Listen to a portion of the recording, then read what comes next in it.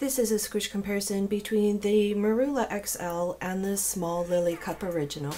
Don't forget that you can compare these cups with other cups that I have on hand by visiting the link in the description below.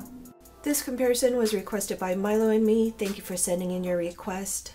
I'm going to place both of these cups in the palms of my hands, give them a squish, swap hands, give them a squish again, and then compare the rims.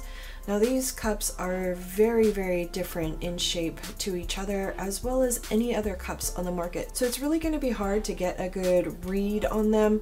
You're gonna kind of have to take or leave what you see here. So I'm gonna do the comparison on the spine of the Lily cup and not the softer areas. Here is the inside of the Merula XL.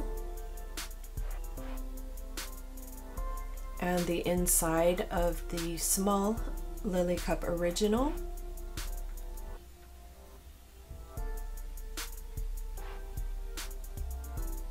Inside of the Lily Cup. And inside of the Merula.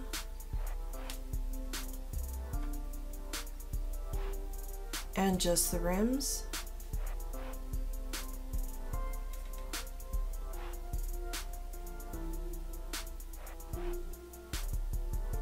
And that was the Merula XL and the small Lily Cup Original.